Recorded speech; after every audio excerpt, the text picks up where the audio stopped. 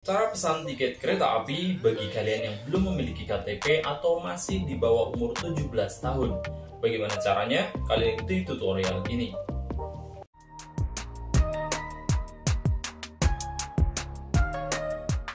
Assalamualaikum warahmatullahi wabarakatuh Kembali ke channel saya Kebumen Tulen Pada kesempatan kali ini saya akan bagikan informasi dan juga tutorial bagaimana caranya untuk bisa melakukan pemesanan tiket kereta api bagi kalian yang masih di bawah umur 17 tahun belum memiliki KTP, baik kalian bisa ikuti saja tutorial ini.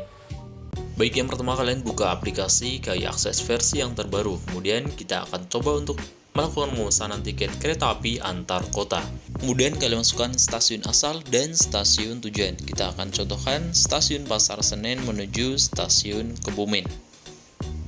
Oke, kalian pilih saja. Lalu, kalian pilih untuk tanggal keberangkatannya. Di sini saya akan coba pilih di tanggal 8 Desember. Lalu kalian jika ingin pesan tiket kereta api PP atau pulang pergi, kalian klik saja yang ini pulang pergi, lalu kalian pilih untuk dua tiketnya. Kalau tidak, kalian matikan seperti ini, lalu kalian pilih untuk jumlah penumpangnya. Di sini tersedia sampai dengan 10 penumpang dewasa dan satu penumpang bayi untuk penumpang bayi di bawah 3 tahun. Kalau sudah, kalian klik saja cari tiket. Lalu di sini tersedia banyak kereta dan juga banyak penjadwalan seperti jam-jam tertentu. Di sini kalian pilih saja untuk tiket dan juga jenis kereta dan jam yang kalian inginkan. Misalnya saya contohkan saya akan pilih tiket kereta api yang ini. Lalu di sini silahkan kalian masukkan untuk data penumpangnya. Untuk data penumpangnya kalian scroll saja ke bawah, lalu kalian klik ikon pensil atau ubah yang ini. Kemudian kalian klik saja tambah penumpang baru yang ini.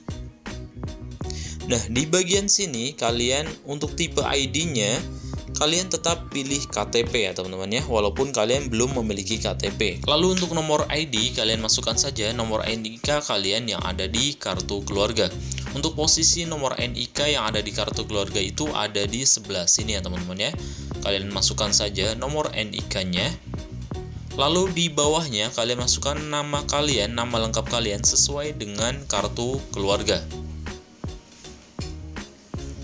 Pastikan sama persis Kemudian di bawahnya itu ada tipe penumpang, kalian kosongin saja dan kalian klik saja simpan di bawah ini.